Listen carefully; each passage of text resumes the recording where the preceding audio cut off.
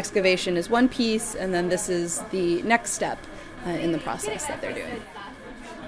This morning, the students had a lecture to help them identify ceramics that they were excavating to help with chronology and to help with interpretation. So, to know how old something is, how old what you're digging is, and what it meant, and what people were doing. That's part of working with artifacts and what they're doing the rest of the class is working in the lab. The first step in the process is they'll take a completed bag from one excavation level. So all the artifacts in that bag have the same story, they're from the same context.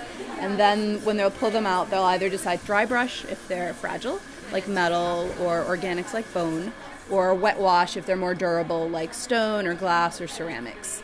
The wet ones go in the water and they need to just kind of scrub off some of the dirt to see what they found, to get a better idea of what it really is and what it might mean.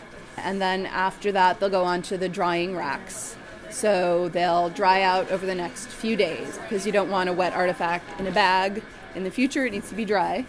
They'll transfer the information from the bag to the drying tray and then they'll come back next week and put it in a clean bag and it'll be ready to be inventoried and into the permanent collections of the Peabody Museum.